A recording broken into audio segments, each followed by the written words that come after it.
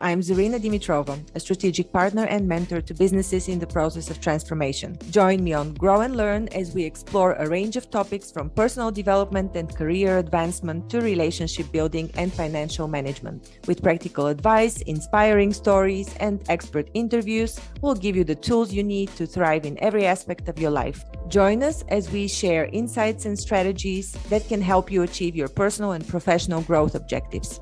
Welcome to the Grow and Learn podcast. This is Zarina, your host. Welcome to everybody listening on Heal and Learn.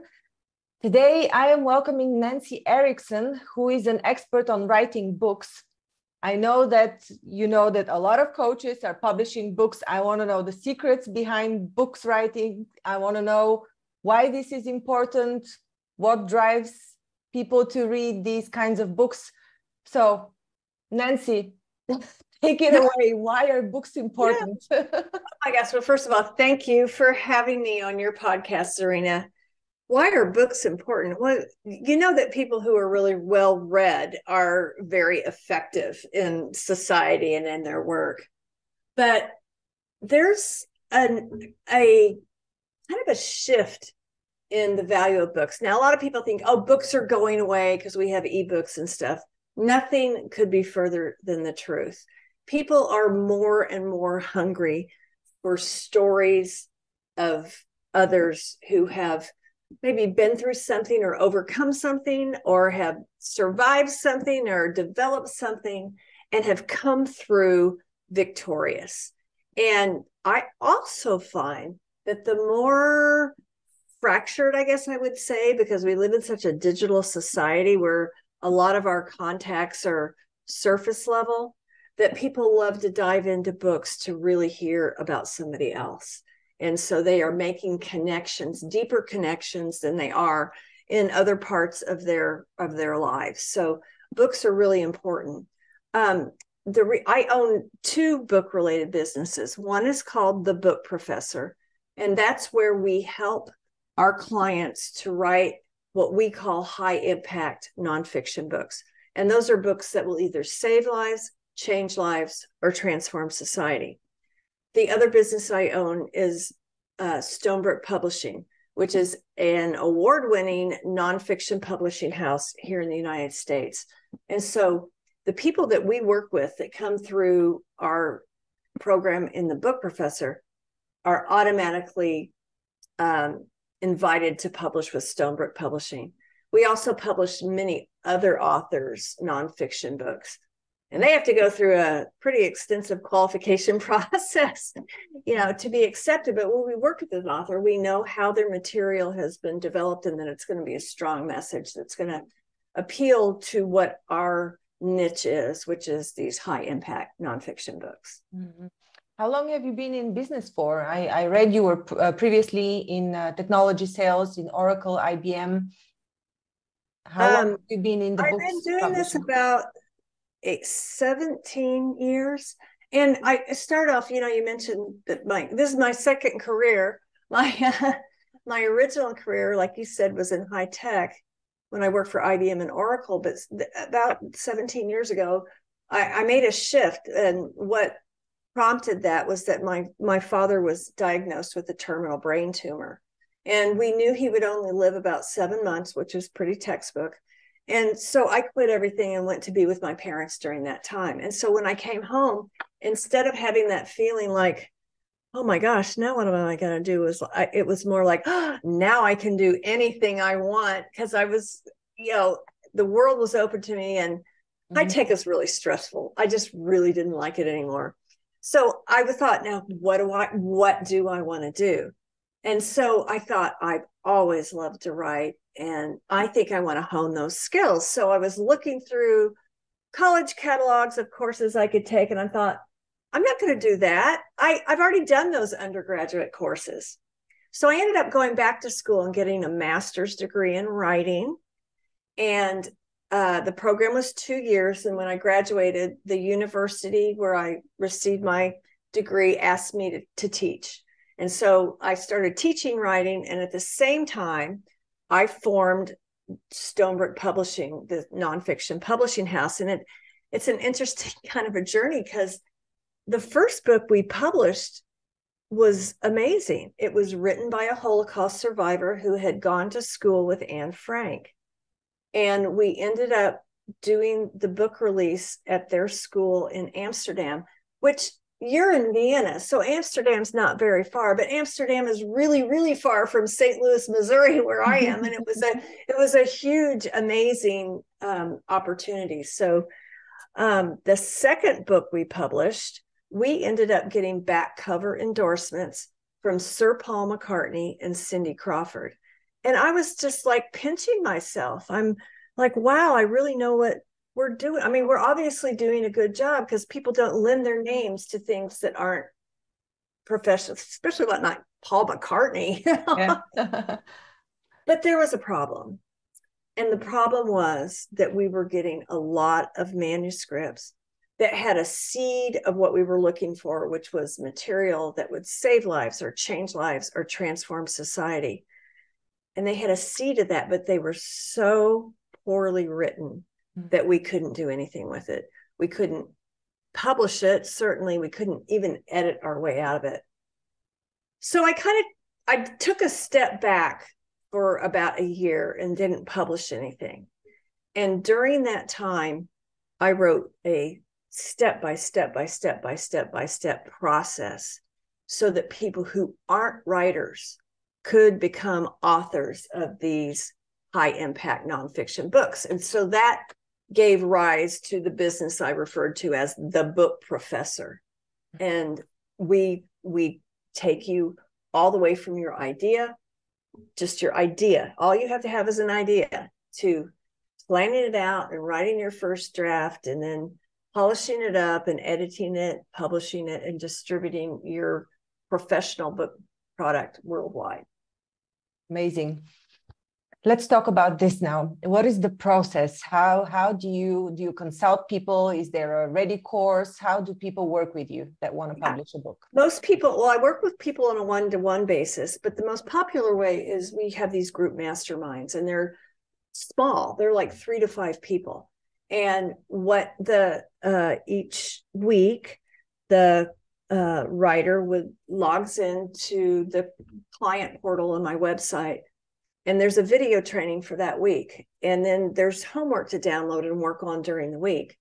And then every week after you do your homework we're on a one hour mastermind call with the whole cohort talking about what you did that week. And it starts with just the planning part and then you know all through the writing. But the way we always start is with a series of foundational questions that help you to crystallize your message.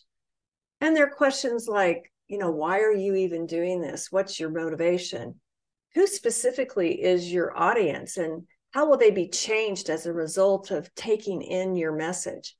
So there's 12 of these questions and we take the answers to those and we distill them down into a purpose statement for your book that says the purpose of this book is to do this particular thing to this for this specific audience period and that is so foundational to everything in your book because you can't you can't put everything you know in a book.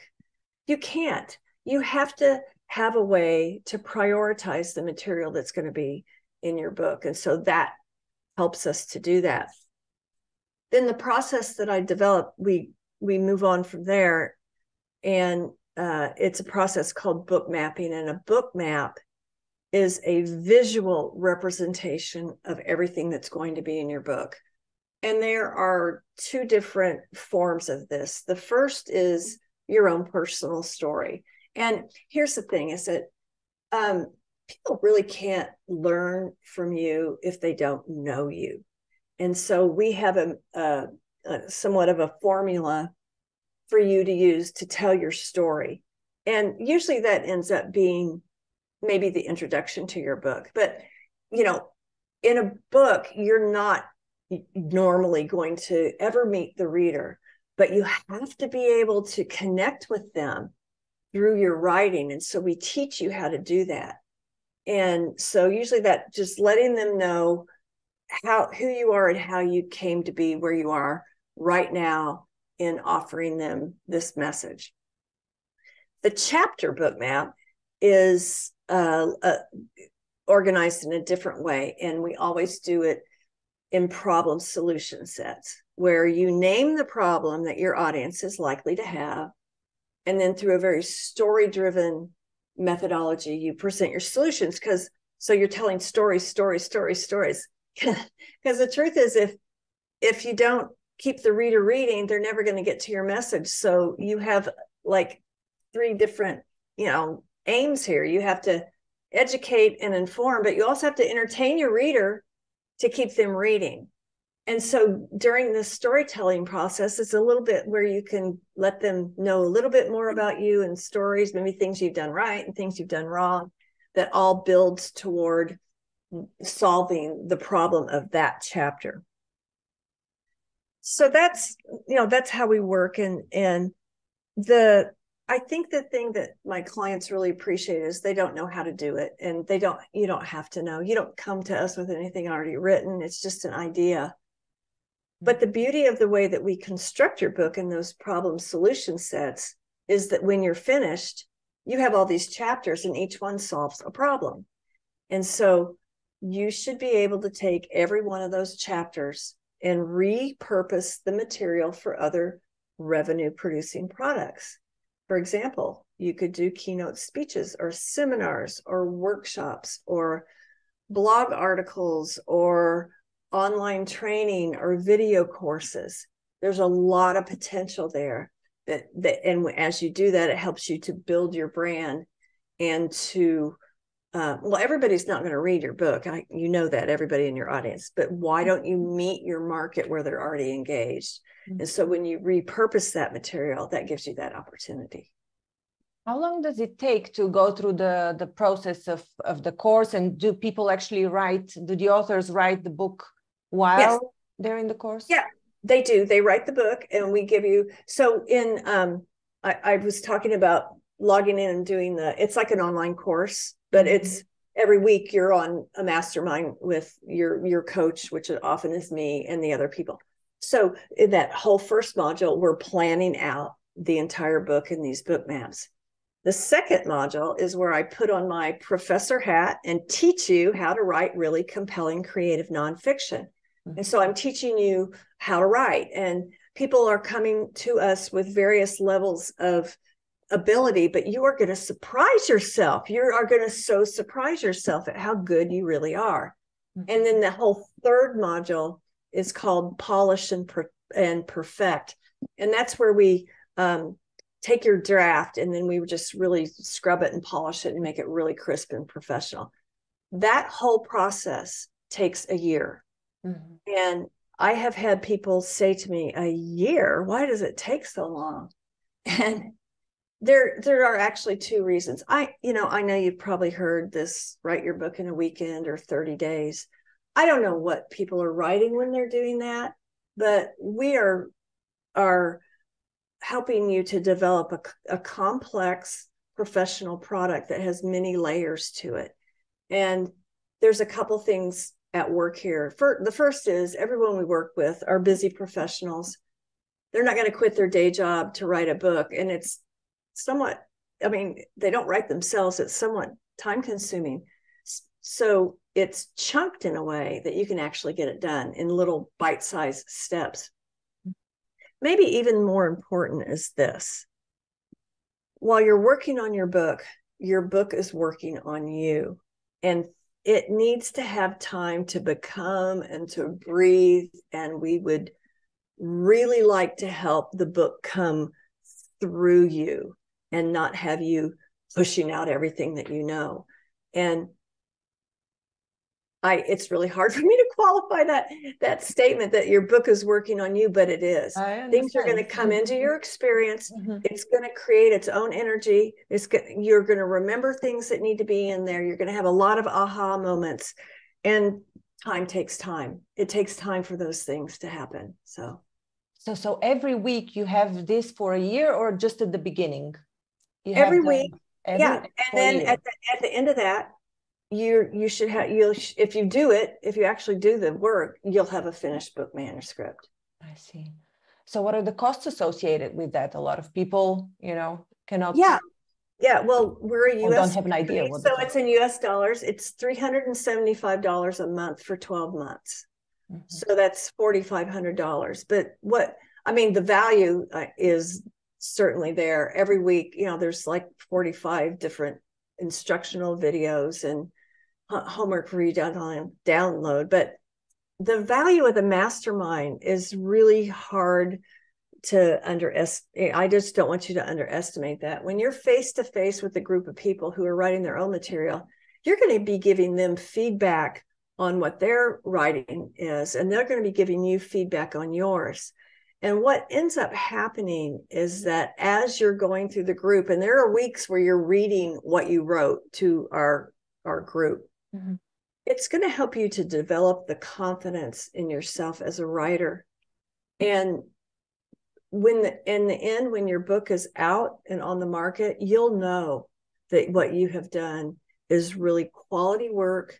It's been vetted by others and affirmed by others, and it will really help you to. I mean, honestly, when you your book's on the market, it's kind of like standing naked in public with all your skin stripped off. You know, you're going to feel really vulnerable, but you're going to have you have a group behind you who has been through every step of the way with you and you with them on their books and you'll feel very confident in what you have done and that you have actually offered something to readers who that are that's of value and will help them what are some examples of books can you show us a few of your of, of the recent releases that you have yeah so if you're if you're watching the this video part here there's this one here is called what lurks in the woods Mm-hmm. It was written by an author. All and most our authors are all first time authors. Her name is Nicole Bell. So she was an MIT brainiac, and MIT is Massachusetts Institute of Technology. It's the highest level of you know technological education. She's just a brainiac, and so so is her husband, and so they were just rocking along in life, developing medical devices and all sorts of stuff, and and he started getting symptoms of extreme forgetfulness and like even getting lost. And he wasn't very old. He's maybe 50 you know mm-hmm. and so um she was quite a bit younger than he is but it was weird so of course they ended up going to the doctor and they diagnosed him with early onset alzheimer's oh. well nicole she didn't believe it and she's a scientist and into investigating things and so she's like this doesn't make sense. He's too young. There's no family history. And so they were taking that. I mean, there's not much to do for Alzheimer's. And so he continued to, to decline and decline and decline and decline. And eventually she understood that what had caused his illness was Lyme disease. And so Lyme disease and other tick-borne illnesses can be really devastating. Mm-hmm. And so her husband ended up losing all capability to recognize anyone, and he passed away about a year and a half ago.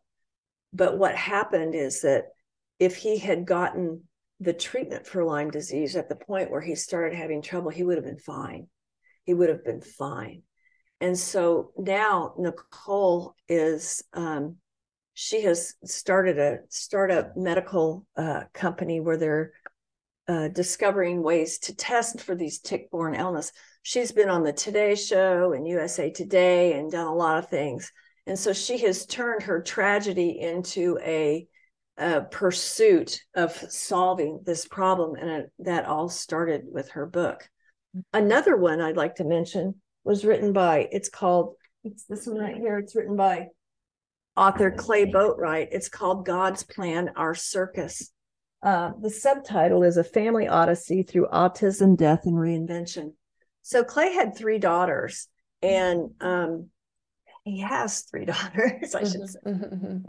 Twins, an older daughter, and then twins who were born with severe autism and mental disabilities. They're not, they function at about the two year old level, maybe, and they're adults. But anyway, it's all about his life and how he turned that tragedy into a pursuit for him. And so he's been on all kinds of, President Obama had appointed him on different commissions for disabilities and all sorts of things. And so he turned his life into a advocacy, one of advocacy and support for um, handicapped individuals. So that book is done really well, but it also offers parents of autistic children a lot of hope and help and understanding.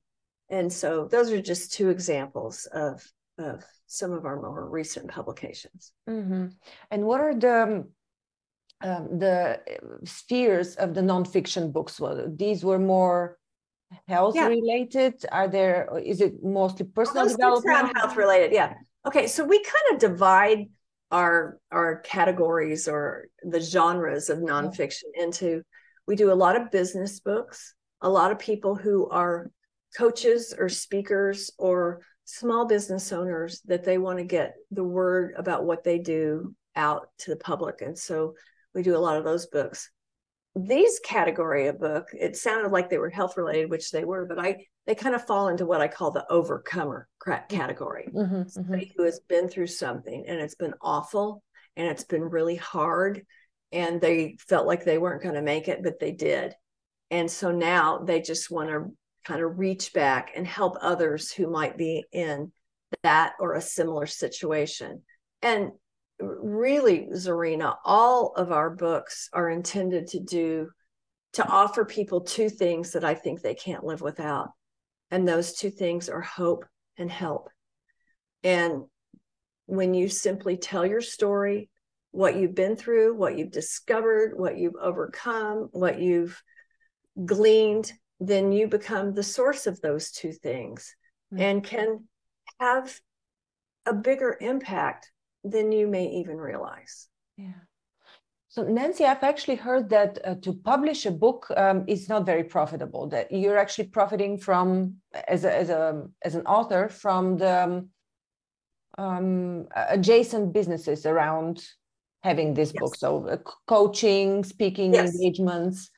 Yes, I agree with that. That mm-hmm. that's correct. Unless you're, you know, a known author and and such. But um, a lot, most of our clients are. Um, they have the desire to help others, and and so like some things that I told you about, like with Nicole, she started this whole. Um, she's like the go-to person now for Lyme disease and tick-borne illnesses. Clay Boatwright on his book that references his autistic da- daughters has some coaching and helping you know things that he can feed people into. But you're right you you may not you may not get your money back in book sales. Yeah. But i often tell our clients how many new clients do you need to get to um, justify the cost of this? How many people do you need to help? How many speaking engagements do you need to get, etc. So you're not most people don't start making I mean, this is just a general rule of thumb for authors. You don't start making any money off the book until about their fourth book.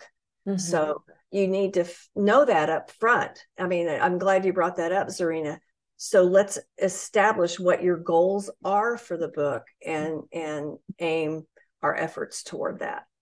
Yeah so so most books are physically distributed then. Uh, is your company uh, Stonebrook uh, also in the distribution business? Or when you publish it is does that is this where your work stops or how does it continue? Okay so what happens is that we distribute through ingram publisher service which is an international company. It's the largest book distributed book distributor in the world. They distribute it worldwide and so their customers are Amazon or Barnes and Noble or Powell's Books or something like that, but it's distributed worldwide. Um, you know, print books and ebooks. And print books are, for a while, ebooks were climbing in popularity. That's kind of backed off, and now print books are surging again. I think people got people are feeling a little too electronic these days. I think I can testify to that myself. I, I, have no patience to read an ebook. I know. I I can't stare at another screen at, yeah. you know on my off time. Mm-hmm. Um, audiobooks are extremely popular, and um, we um, we have a partner for that because there's a lot of different production materials and studios involved, but when you're doing an audiobook, we we always suggest that the author kind of let go of the idea of recording it themselves and to use a voice actor. And so our partners have they have voice actors that will audition for your book and you get to choose the one you like. But here's the reason why. They're they're actors, they're vocal performers. Mm-hmm. And when you read your own book, unless you have had professional voice training, you're not going to be crisp in your diction. You're not going to be uh, kind of level out your accent if you have one so that everybody can understand you. Yeah. And particularly for women, we have to be really careful and learn to drop our voice or register so that we don't sound squeaky and mm-hmm. irritating. Right. Voice actors automatically do that. And it's actually going to cost you less than if you go into a studio and take all the studio time and they're having to, you know, re record and back up and fix your pronunciation and things like that. But audiobooks are really popular. In fact, because I read books all the time for work, I never read a book when I'm not working, but I consume a lot of audiobooks. So that's a wonderful way to um, engage with more readers. Yeah. So um, now with the whole AI advancement, it's overwhelmed us. But I I know that I've been offered uh, an AI solution for writing books. So there's this thing coming as well. Mm. Do you know how it competes with what you're offering and whether? Oh, yes. I mean, I have a very strong opinion on that. Yeah. And share, share please. Yeah. Well let's start off with what i hope the foundation of your business is. I hope it's integrity. I hope it's about being honest and and being um, upfront with everybody. Your book should do three things for you. It should establish you as an expert. It should increase your credibility and it should help you attract a following but just imagine what would happen to your credibility if you issue this book that's computer generated and people find out you didn't even write it. Oh, and also you can't copyright that material because you didn't write it, an AI generated book. I I have a you know, I I have a very emotional reaction to that. People don't want to interact with a computer. They want you. Mm. They want you. And so what we do when we're working it with you is we we help to pull your story out of you. And a computer can't do that. It doesn't know you. It can just write about topics that you feed into it. But we work a lot with our writers to inject the personal emotional side of your story into your book. And we're I, i'm kind of scared of ai i. Mean i mean of the things that i'm hearing about where it's going i'm like mm-hmm where are the people? Where are the people? Now, I do think there's a place for AI in writing, maybe in blog posts or articles that you're doing, but not when you're putting yourself forward as this expert, because you are the expert. And let's let's let us help you to pull that expertise out of that so that you can really shine and be authentic and and show your expertise and your integrity to the world. Hmm. Great. Yes, um, I, I wish this is indeed so, but um, just I don't know. I, I'm I'm always cautious uh, with AI because I have personally seen how how much it's uh, it's advanced. I've been using ChatGPT since the very beginning to test it out, and now I can see that it's pulling it's able to. You you can um, teach it and it's pulling the essence of what you want to say. It's really it, it's scary at times. And also i read uh, one book. It's called um, uh, immortal.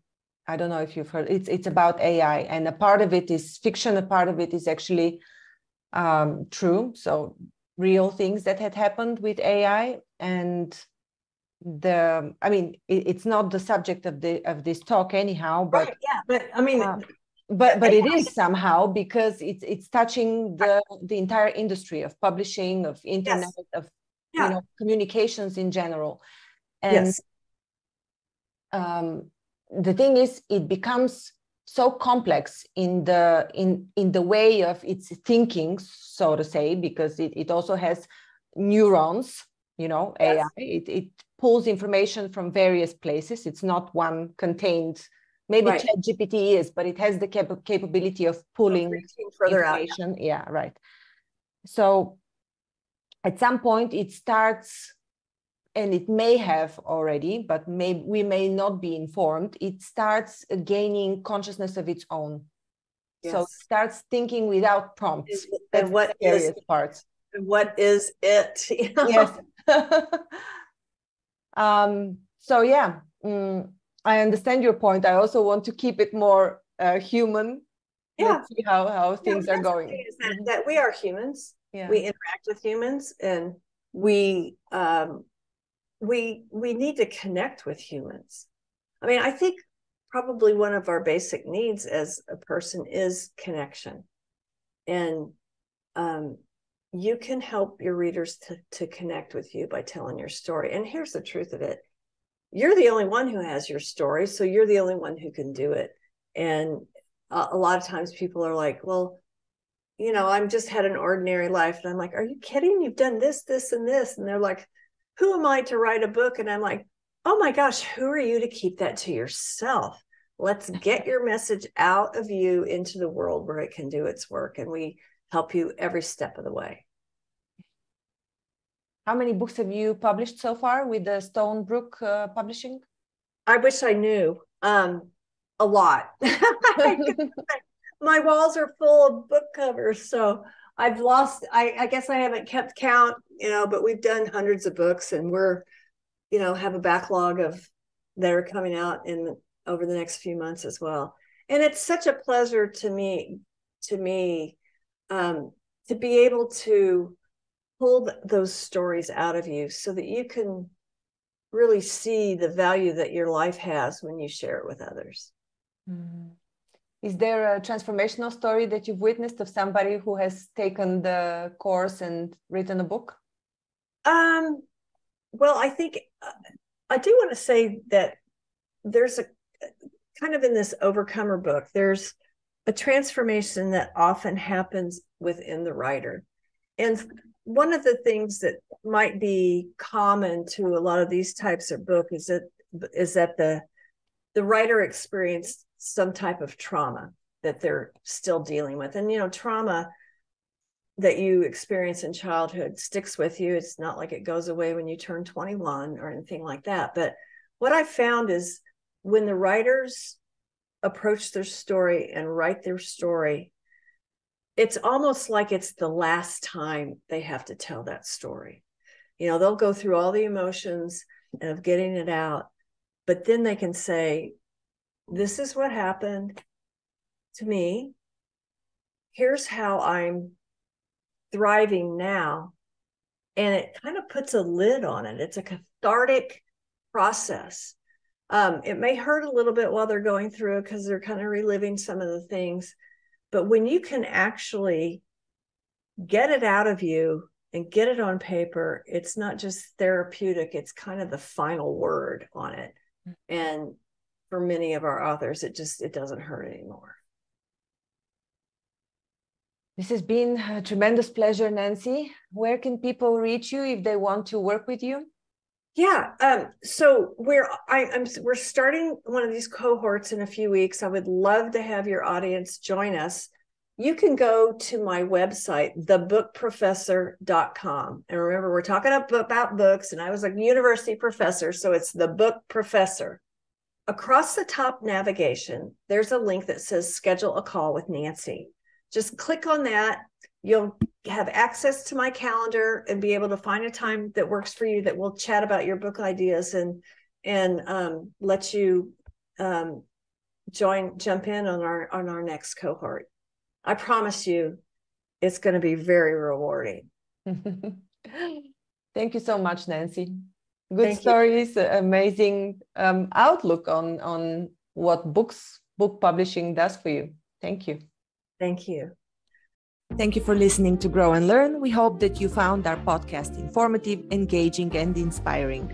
Our mission is to help you keep growing and learning, and we hope that our conversations and insights have provided you with practical advice and useful perspectives. If you're looking for personalized support and guidance to help you achieve your personal or professional growth objectives, I offer a range of services to help. As a trusted management partner and mentor, I work with businesses in the process of transformation, looking for new streams of business as well as M&A. With an extensive professional network of experts and mentors, I can bring on board the right person or team based on the specific needs of the company I'm working with. To learn more about the services I offer and how I can help you achieve your goals, visit my website at grownlearn.org. You can also reach out to me via email or social media. I'd love to hear from you.